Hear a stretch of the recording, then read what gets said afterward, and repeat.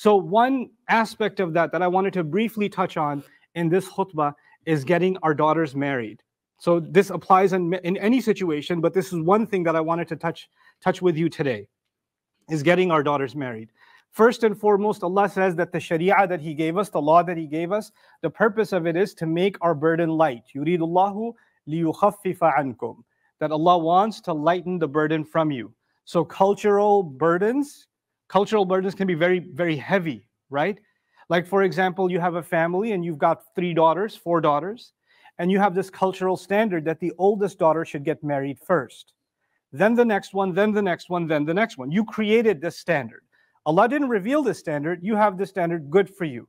But then the second daughter, not the fourth daughter, the second daughter is getting a proposal and a good proposal. And you say, no, no, no, you got to wait because there's a line. Get back in line. Right? And so when you do that, you, you, now let's look at it from a Quran point of view. Something came that was halal, and your daughter wanted it. She had the right to be married, and you denied her something that was halal for her. Even the Prophet of Allah was told, sallallahu alaihi wasallam, "Lima tuharrimu ma ahallallahu lak."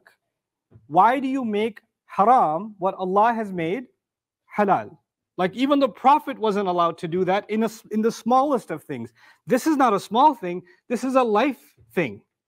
And you can devastate somebody because they wanted to marry a person. They had an emotional attachment. They had the thought of this is the right person for me.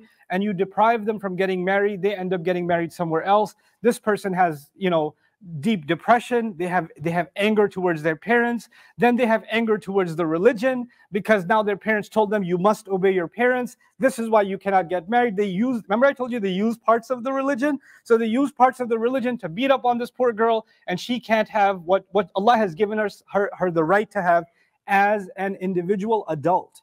And that's the next thing i want to say. When our daughters are about to get married they're not children. They are adults and adults are going to stand on their own in front of Allah on Judgment Day. You are not going to come in front of your 28 year old daughter and say, Ya Allah, ask me the questions. She's, uh, I'm her wali. No, she, she's answerable for herself on Judgment Day. And if she committed a crime in this life, ma'adallah, if she cut a red light, or you know, if she if, if she stole money, or she you're not going to stand in front of her. She has to answer for herself in the court of law in this life and in the court of Allah's law on Judgment Day. She's an individual with personal responsibility. On top of all of that, especially for those of us, because the world is changing, right? Economies are changing. Many people, like in my family, for example, even, it, it, was hard to make ends meet. Everybody worked. My mom worked, my dad worked, my sisters worked. I everybody had a job because th- there was no way to survive. It's expensive. So there are situations where we trust our daughters to go get a job. We trust our daughters to go to the university. We trust our daughters to earn a living for themselves, to be out on their own. You're not standing there at work next to her. You're not protecting her every second. She's taking care of herself.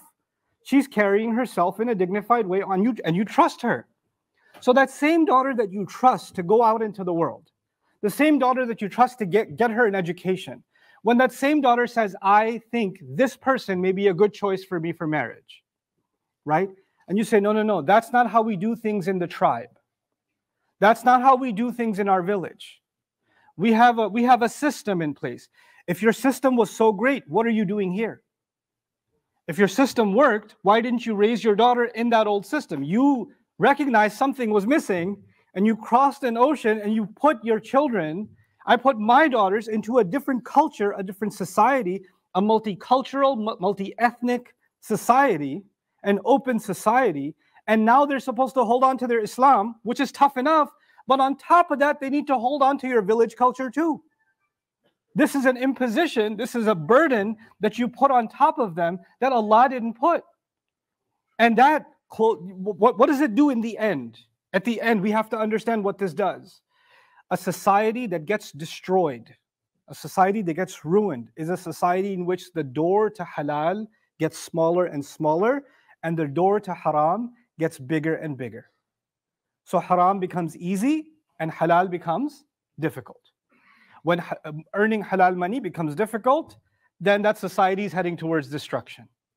When being in a halal relationship is difficult, then that society is heading towards destruction. this now the thing is the Israelites had done that to themselves.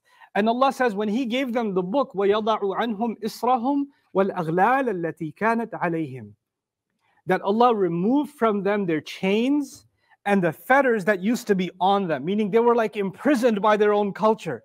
They were making things so hard on themselves because of their self imposed standards that they were actually imprisoned and burdened and crushed by it. They were crushed by it.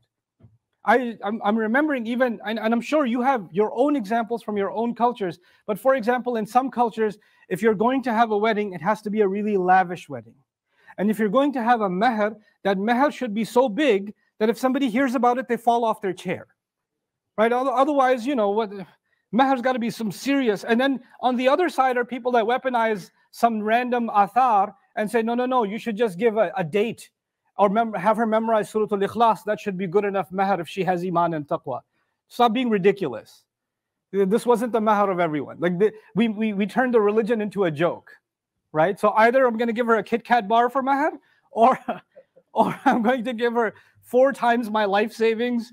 And you know, 30 years later, I still am not, able to pay the mahar. Mahar is not a joke. What we've done in our cultures is we've turned the mahar into a trophy. How much was it? How much was it? Like when when the wedding happens, everybody's so how much? How much did you get? How much did you get? What's the amount? What's the amount? Oh, now when my daughter's getting married, we better have twice that amount. We it's, it's, it's a it's a it's a race for hierarchy, right? So we take something Allah has given that makes life easy, and we've turned it into this way of putting social status and created even more difficulty. Now, the guy that doesn't have $80,000 or $150,000 because he just graduated, just got his job, he, he's either got to agree to this, this marriage mortgage, or, or he can't get married. Or he'll agree to it with the intention that he's not going to pay it. Well, it's just a number. Don't worry about it. How is it just a number? This is the word of Allah. You can't just make a joke out of that. I'll just tell her later, you know, you love me, right? Can you take a couple of zeros off? You know, like this is what happens when the culture imposes standards that are so hard that they're humanly impossible. They're unrealistic. And what do we associate with that? We associate respect with it. If you don't have a high number, if you don't have an unrealistic number, then what respect does your family have? وَلِلَّهِ الْعِزَّةُ وَلِرَسُولِهِ وَلِلْمُؤْمِنِينَ Dignity, respect. That comes from Allah. It belongs to Allah. It belongs to His Messenger. It belongs to those who believe. This is we create these false standards of respect, and then we bury ourselves, and we bury our daughters. We bury them, you know. And then there, there, the, are other situations.